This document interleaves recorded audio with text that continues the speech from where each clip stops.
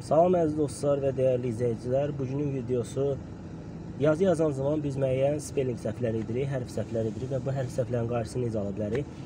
Məsələn, mən yazdım və o mənim hərf səhvimi desin.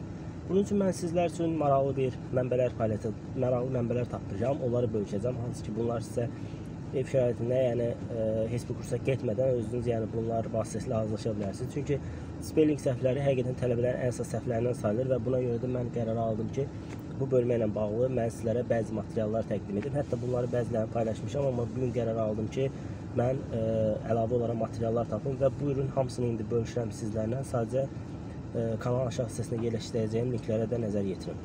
Salam əziz dostlar və dəyərli izləyicilər, hər birinizi yeni videoda salamlayıram. Bu gün də maraqlı bir video çəkirəm. Biz e, bu gün mən sizə spelling testlərinizdə spelling səhvləri elədiyiniz zaman onları necə aradan qaldıra bilərsiniz? Hansı saytlar var? Məsələn, burada mən hər hansı bir saytı götürürəm və məsələn burada göstərir mənə doğru variantları. Məsələn, mən burada e, today ifadəsindəki e, ikinci hərfi verməmişdim, ikinci səsi verməmişdim və buna görə o səhv götürdü onu. Burada bir neçə saytlar var. Bu saytdır bu saytdır, budur. Bu Grammarly-ni bilirsiniz. Yəni bu haqqında danışmaq istəyirəm. Çox sevdiyim saytlardan biri budur və ən çox sevdiyim isə budur. Bir neçə sayt da var əlavə yerləşdirəcəm aşağı və həmin saytlar vasitəsilə həm e, qrammatika, həm də ən çox da spelling səhvlərinizi aradan qaldırmaq üçün bu saytlardan istifadə edə bilərsiniz. Uzun uzun danışmaq istəmirəm.